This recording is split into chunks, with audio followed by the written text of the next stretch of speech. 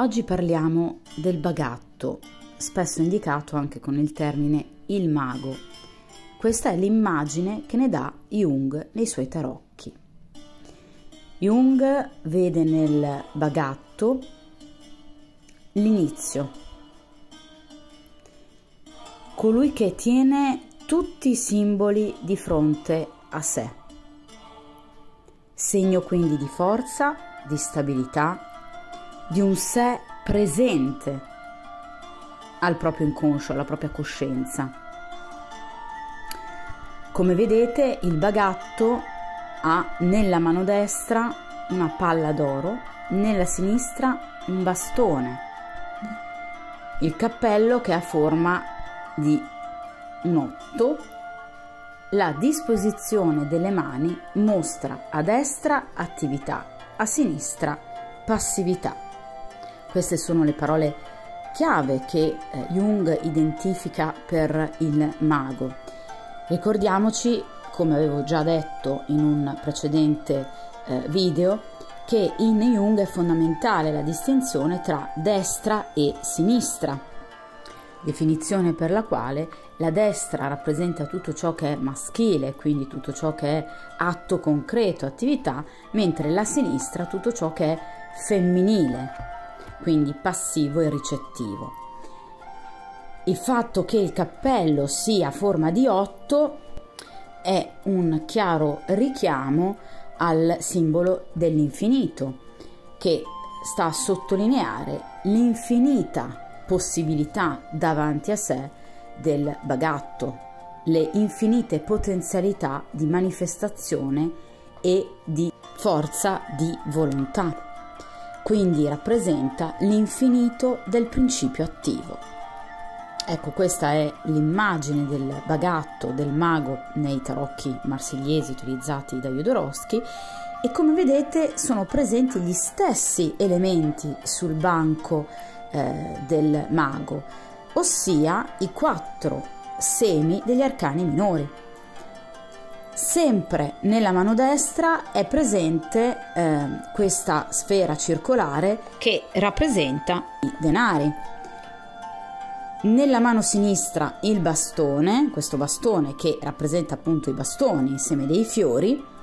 Sul tavolo vedete che ha un coltello che rappresenta le spade e poi una coppa che rappresenta appunto eh, i cuori. Questo appunto sta ad indicare che il bagatto può operare, realizzare, creare lungo tutte le direzioni. Il progetto a cui si affaccia il bagatto è un progetto quindi che può riguardare qualsiasi ambito, l'ambito sentimentale, l'ambito intellettuale, l'ambito economico-finanziario, o l'ambito prettamente professionale, proattivo e creativo. Quindi il bagatto ha la funzionalità di manifestazione. Egli è in grado di trasformare tutto ciò che vuole in realtà. Una realtà che riguarda, abbiamo detto, sia l'aspetto sentimentale che l'aspetto finanziario che l'aspetto professionale. Quindi il bagatto ha un progetto e lo vuole realizzare e ne ha le potenzialità, ne ha le facoltà. Il bagatto ha di fronte a sé tutti gli strumenti per fare tutto ciò che vuole. Egli sa come e cosa fare. Ovviamente l'ambito eh, in cui si inserirà questo suo principio di creatività lo si evincerà dalle carte successive. Se sarà appunto un ambito sentimentale, professionale piuttosto che economico-finanziario. Dunque il mago rappresenta il grado 1. Il grado 1, ossia quel grado che ha bisogno di lanciarsi, di muovere un primo passo verso la realtà. Il grado 1 permette di percorrere il primo chilometro, ad esempio.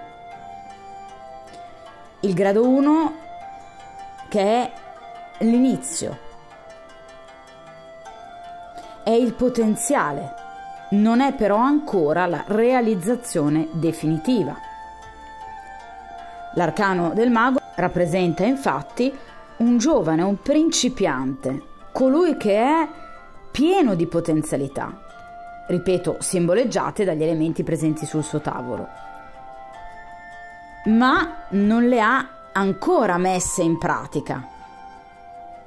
Il bagatto per terminare il suo percorso ha ancora molta strada di fronte a sé.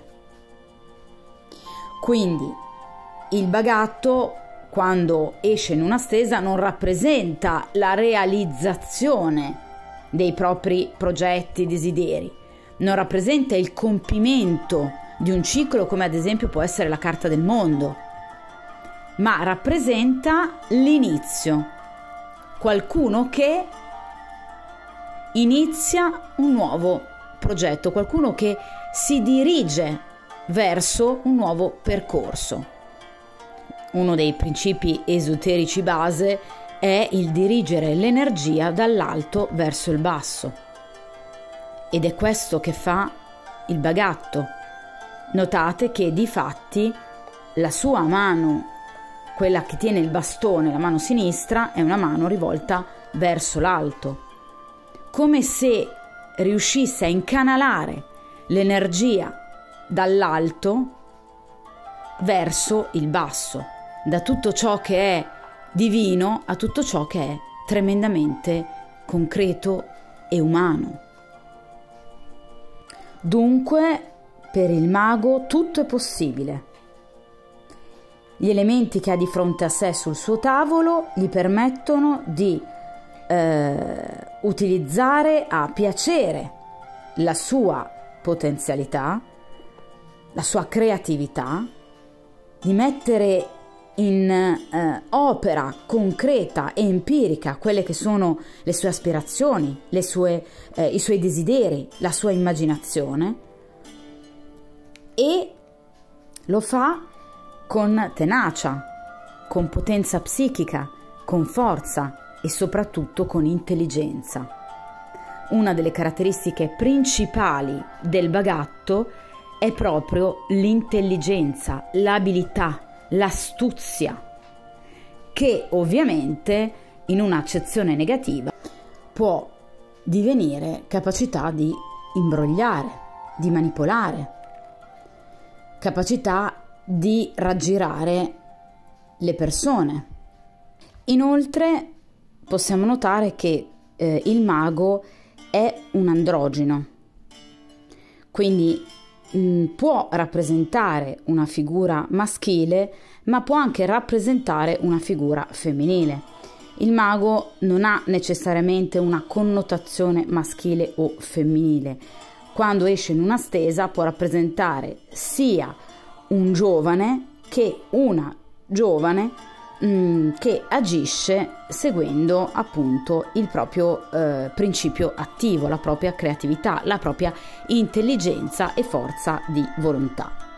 Quindi dunque a prescindere dal eh, sesso che ha il bagatto, che abbiamo detto può essere sia maschile che eh, femminile, egli ha comunque una profonda e eh, impagabile destrezza ha la bravura e la capacità di organizzare la realtà secondo la propria intelligenza, una capacità che è inesauribile. E qui torniamo al discorso del cappello che ha forma di eh, infinito, come appunto infinite possibilità. Come fa molto intelligentemente notare Jodorowsky, il tavolo ha tre gambe.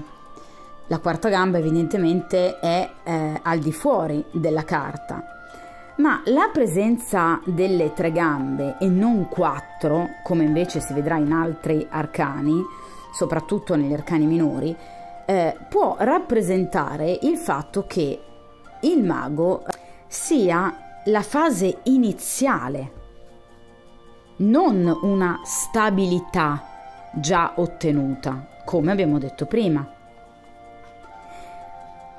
Quindi è ancora nella fase della potenzialità, ma non ha ancora realizzato la solidità dell'intero progetto.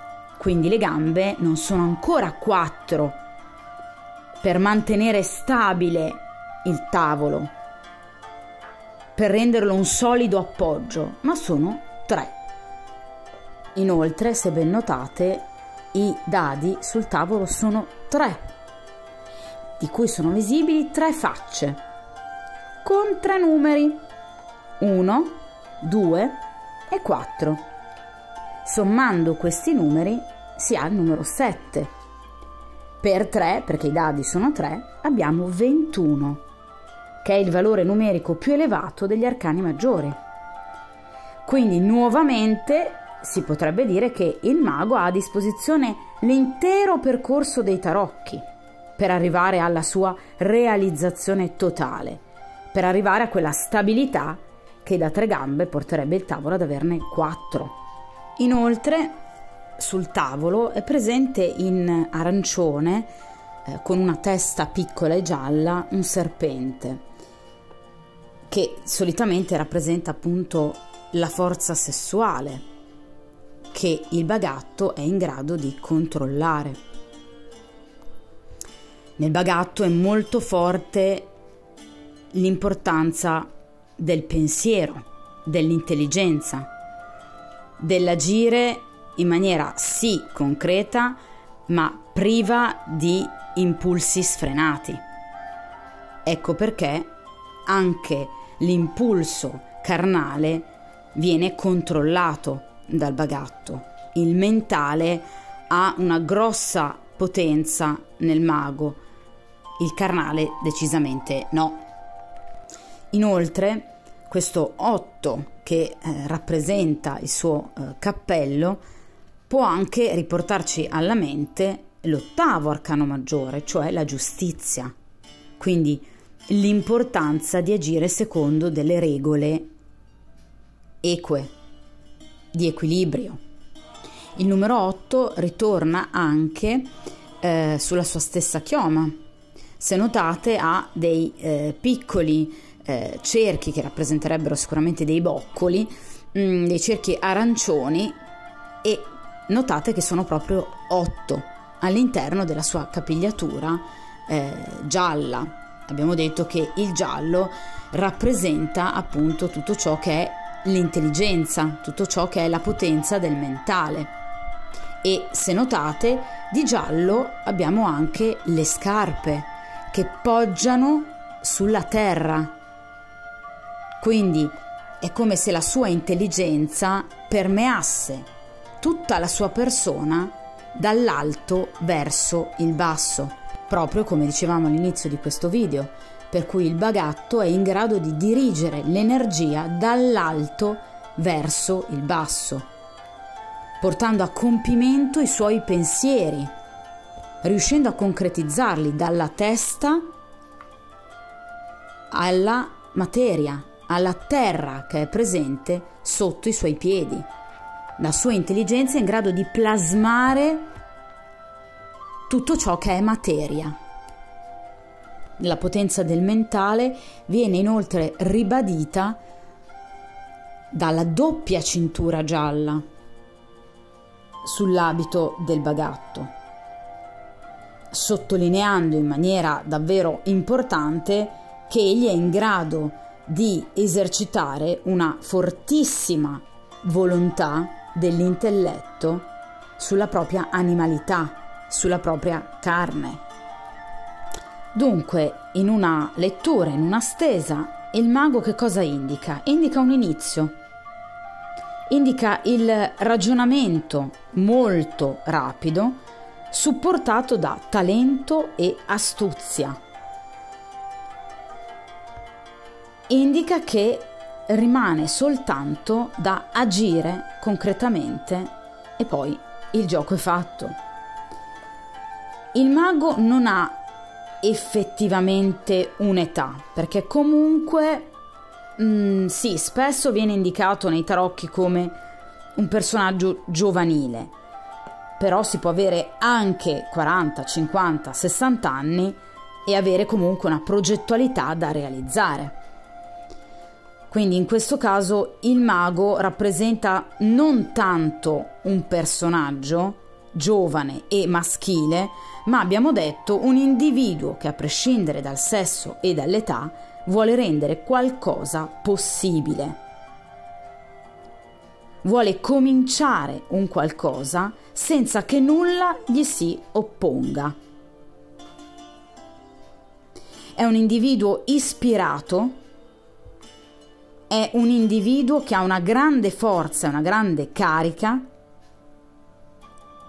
per poter iniziare una nuova strada. Egli è un iniziato. Il mago vive nel presente. Qualsiasi sia l'azione che egli intenda intraprendere, è ora ormai di farla. È giunta l'ora. Egli non vuole più aspettare, si sbarazza di tutti gli inutili fardelli, si sbarazza dei residui del passato e anche del timore del futuro. Egli vive della propria energia, filtrata dalla propria intelligenza e dalla propria coscienza, e di conseguenza vive profondamente nel presente, nella propria progettualità.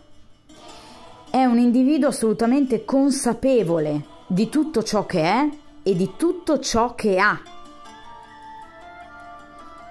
Egli è cosciente di tutti gli spazi, di tutta la materia, è cosciente di se stesso, sa che ora può trasformare tutto ciò che ha di fronte a sé in un'opera egli ha di fronte a sé, ma rappresenta anche egli stesso la luce della coscienza, che lo rende vivo. Il bagatto dunque è fedele a se stesso, alla propria intelligenza, è fedele ai propri progetti. Per quanto riguarda l'analisi dei colori presenti in questo eh, tarocco, vediamo che sono fortemente presenti il verde, il rosso, il giallo, il blu e anche il rosa carne.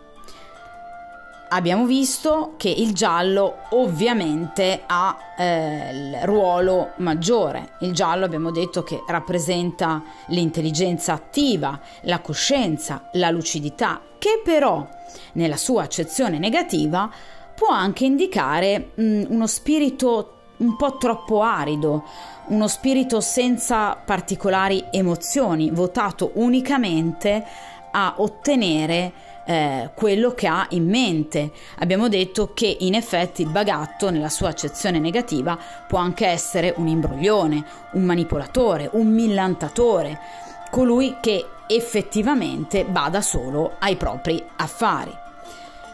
Inoltre abbiamo visto che è presente anche il rosso. Se notate, il rosso è contrapposto nel suo abito al blu, dove il blu rappresenta, diciamo, eh, le sfere celesti, rappresenta tutto ciò che è divino, tutto ciò che è alto, mentre il rosso rappresenta il regno animale, il regno carnale, tutto ciò che è basso.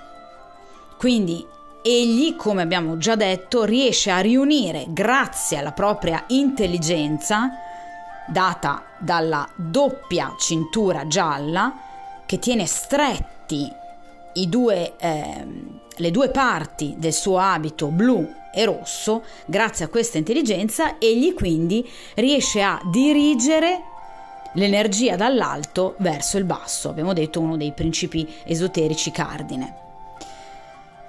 Inoltre, se notate, il rosa carne dove è presente? Che rappresenta appunto l'umanità, il, il piacere carnale, no? il, tutto ciò che è materialismo. Sul suolo.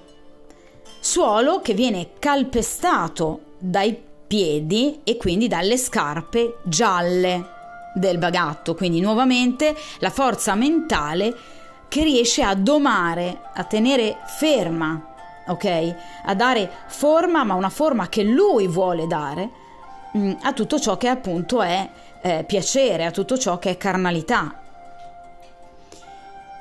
Il verde chiaramente abbiamo detto che rappresenta la, eh, la natura unita alle forze terrestri. In questo in particolare il verde scuro. Per quanto riguarda invece il verde più chiaro è la natura unita alle forze celesti. Notate che il verde scuro è presente sulle gambe del bagatto, quindi verso il basso, mentre il verde chiaro è presente sul cappello, quindi verso l'alto, che guarda alle sfere celesti, che guarda al cielo.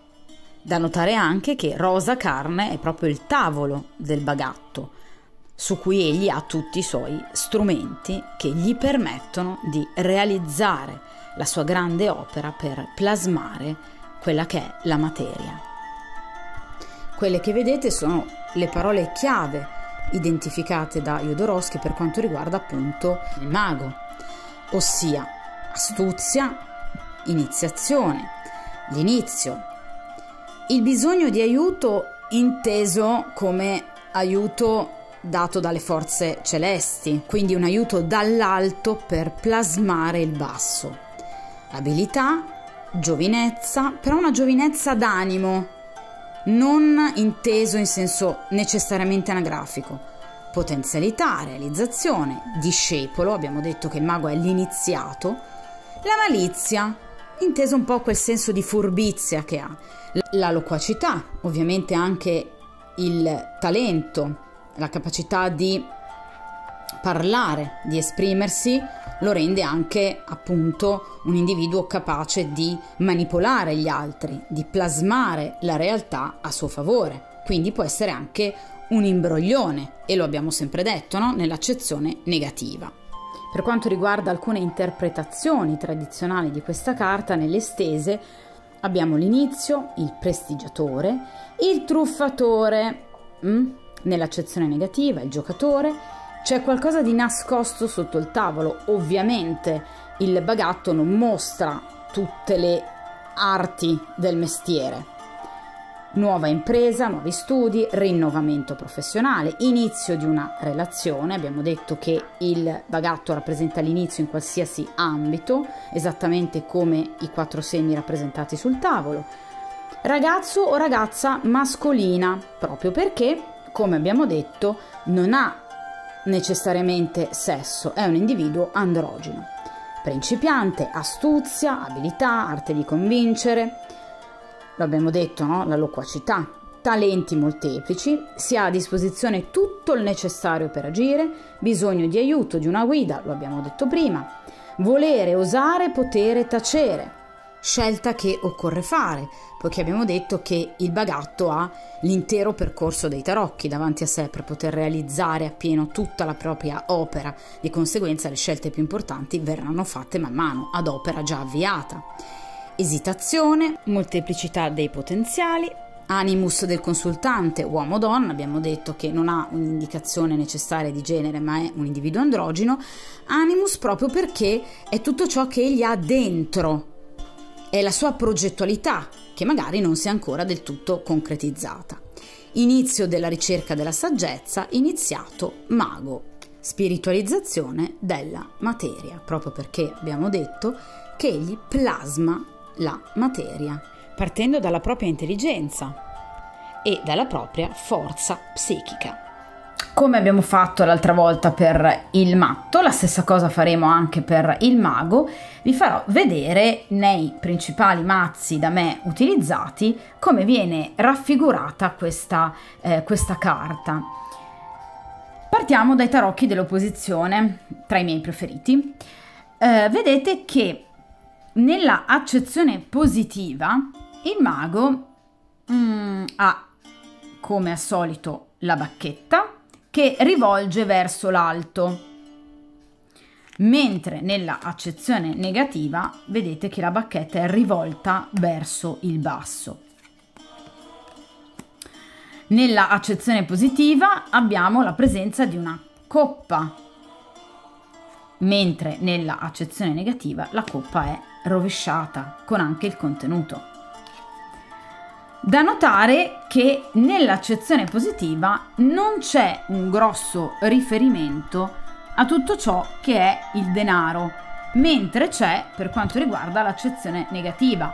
Questo per stare ad indicare che l'eccessiva ehm, proattività nei confronti di tutto ciò che è materiale, quindi il denaro, è comunque un attaccamento eccessivo alla materia che di fatto non porta a nulla di buono, mentre l'attaccamento a tutto ciò che è emotivo e sentimentale viene visto in maniera molto più eh, positiva. Da notare la lama, la lama delle spade, di questa spada che in questo momento, cioè nella accezione positiva, viene vista come conficcata nel tavolo del bagatto, quindi come non capace di offendere, di fare del male mentre in questo caso viene vista come addirittura eh, rovinata, distorta, come se in qualche modo avesse già colpito fino addirittura a eh, rompersi, a storcersi, a rovinarsi. Mm? Secondo me è una rappresentazione veramente intelligente della carta eh, del mago. Un'altra cosa da notare è notate la bacchetta nell'accezione negativa, eh, in questa atmosfera assolutamente oscura e arida, vedete che qui la natura non è assolutamente rigogliosa, mentre invece qui assolutamente sì, dicevo la bacchetta è rivolta verso, guardate, il dado. È come se il mago, nella sua accezione negativa, puntasse di più su quella che è la fortuna, la sorte, piuttosto che sulle sue reali capacità. Mentre nella accezione positiva sappiamo che il mago ha nelle caratteristiche la fiducia in se stesso e nelle proprie capacità. Tarocchi della luce bellissimi, vedete il mago rappresentato da questo eh, individuo, anche qui androgeno, non si capisce non si riesce a dare una connotazione se maschile o femminile, guardate il simbolo dell'infinito, esattamente come nei tarocchi eh, di Marsiglia e in quelli junghiani, dove il cappello lì era disegnato direttamente a forma di 8, qui viene invece disegnato su questo eh, cappuccio di questa felpa, ma anche perché questi tarocchi hanno una connotazione iconografica sicuramente molto più moderna e ehm, che rappresenta appunto, abbiamo detto, le infinite possibilità creative del matto, guardate, dalla forza, dalle sue stesse mani, che plasma la materia su cui lui è poggiato, quello che abbiamo detto sino ad ora. Ecco qua il viceversa tarot,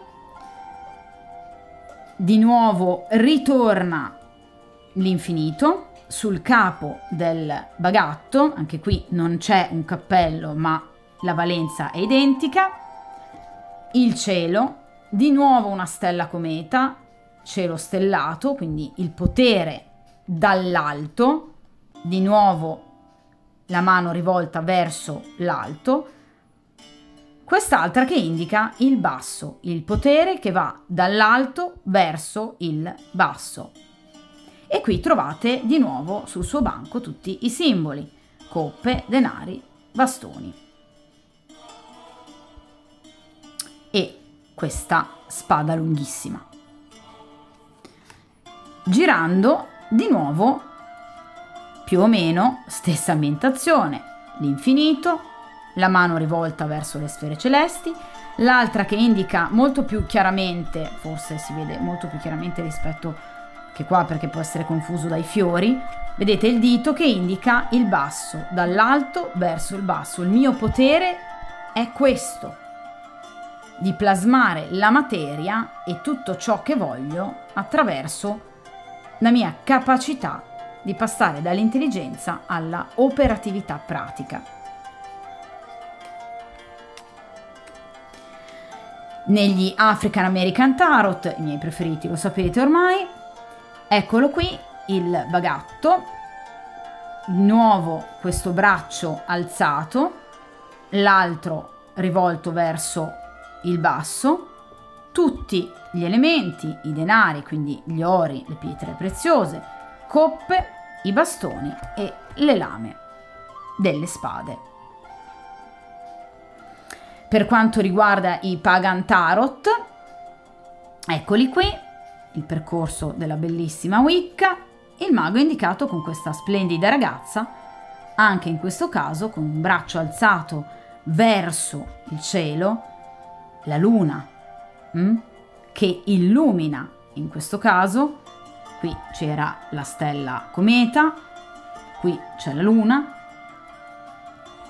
di nuovo verso che cosa? Una maggior capacità, una sapienza, vedete questo libro che è aperto, la Wicca trae le sue conoscenze attraverso questo percorso che viene fatto nuovamente dall'alto verso il basso, conoscenza che le permette di iniziare il suo viaggio. Di nuovo con la presenza dei simboli, i denari, le spade, coppe, bastoni, quindi abbiamo tutto anche qua. Per quanto riguarda invece i gay tarot, anche questi tra i miei preferiti, vedete che il mago è un vero e proprio mago, tipo i eh, prestigiatori televisivi. Vedete che il mago anche qui ha questo enorme cilindro, questo cappello, dal quale può uscire di tutto, il bastone. Guardate l'intelligente rappresentazione. dei semi, coppe, denari, questa spada rappresentante appunto le spade e il bastone.